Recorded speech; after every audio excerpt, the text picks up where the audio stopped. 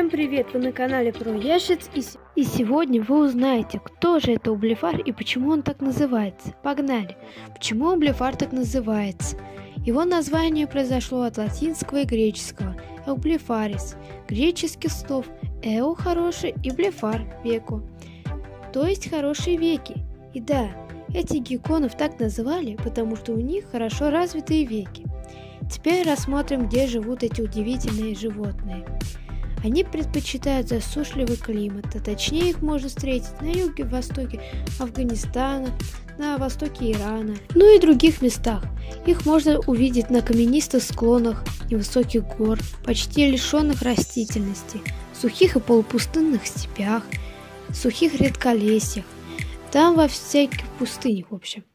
Эублифар – это рептилия, точнее геккон, который ведет сумрачный образ жизни. Что это значит? А это значит, что днем они спят, а когда начинает темнеть, они выбираются из своих укрытий и отправляются на охоту. Они хорошо видят в темноте. Их содержат в качестве домашних животных. Они очень милые и неприхотливые. В них огромное количество окрасов, то есть морф. Также цена у блефара зависит от морфы. Если морфа редкая, то соответственно цена будет дороже. Например, самая редкая и очень дорогая морфа – это Black Knight.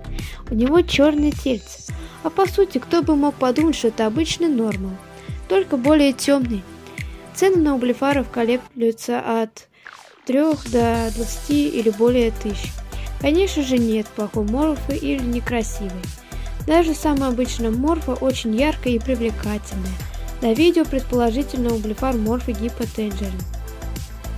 Да, это пока более детский окрас, и он чуть изменится.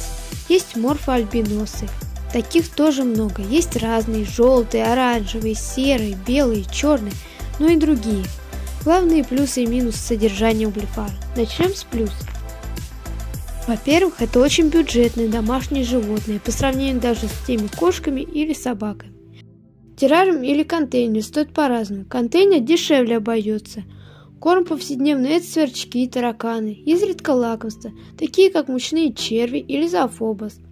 Он также стоит совсем дешево. Также укрытие, поилки, грунт, декорации – все тоже выйдет не совсем дорого. Им не нужна ультрафиолетовая лампа, так как говорилось ранее, что это сумрачные рептилии. Номер два. Чистоплотность. Как вы уже знаете, у меня и у сестры живет прыткая ящерица и ублефар. Знаете, какое различие у них есть? Прыткая ящерица ходит куда попало, а ублефар ходит только в одно место. И мне не приходится мыть весь террариум, достаточно просто положить туда бумажную салфетку. Придется убирать только ее. Приручение. Как все, наверное, знают, облифар это в первую очередь социальная рептилия, то есть он вполне нормально воспринимает, когда его берут на руки. Он может даже вздремнуть у вас на руках. Прыткие тоже приручаются – кто говорит, что нет, это полный бред. Они за неделю-две могут приручиться. Номер четыре. Очень милые. Да, посмотрите на их мордашки. Это улыбка. А эти просто нереально красивые большие глаза. И разрез глаз. А это бархатистая кожа с пухлым хвостом. Правда мило? Причем все они разные.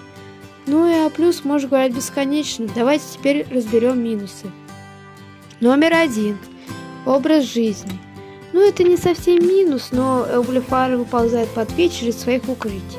Если вы хотите наблюдать за питомцем, то днем он все равно будет в укрытии спать. Конечно, все они разные. И одни спят днем, а другие нет. И это нормально. Номер два. Минус это кот. Вы можете подумать так, что Эушка такая милая, наверное, есть ягодки, фруктики и цветочный нектар. Но нет, это хоть и милые, но хищники. Те, кто боятся насекомых, даже замороженных, но хочет углефары, есть выход. Просто покупайте такой желе, можете найти в магазинах. В нем содержится все, что и в тех же самых сверчках. Номер три. Одиночное содержание. Вам бы наверняка всем хотелось наблюдать, как живут несколько углефаров, но есть одно «но». А Облифаров можно содержать группами, только если самец и примерно 4 самки. Просто самки, но самцов ни в коем случае нельзя содержать вместе, так как они будут драться за территорию. Но это, наверное, Пока все, наше видео подошло к концу. Если ты досмотрел этот ролик до конца, то ты теперь точно знаешь базовую информацию об этих необыкновенных рептилиях. Можешь дополнить меня в комментариях. Всем пока!